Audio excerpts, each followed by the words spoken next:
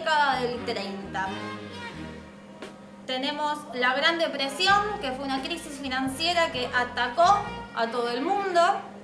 Pero yo me voy a concentrar en este momento en 1933. En Chicago, no te rías que yo pienso seguir igual. En Chicago se viene a organizar lo que fue la gran feria mundial, una de estas ferias que tenían atracciones y juegos y bailes y todas esas cosas, e invitan a participar del evento a Sally Rand. Sally Rand es una de las principales exponentes del burlesque y la presencia de esta mujer en esa feria literalmente salvó la economía de esa ciudad. Fue tal el caudal de gente que asistió por verla a ella que salvó la economía entera de la ciudad.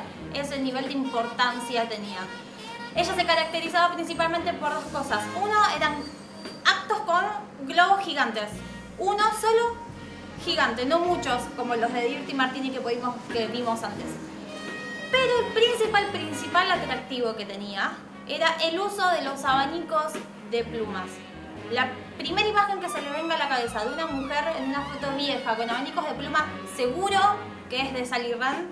Así que a continuación, nacida en Finlandia pero residiendo en la ciudad de Córdoba, en homenaje a la gran Sally Rand, los dejo con todo el glamour de Bebé Fernet.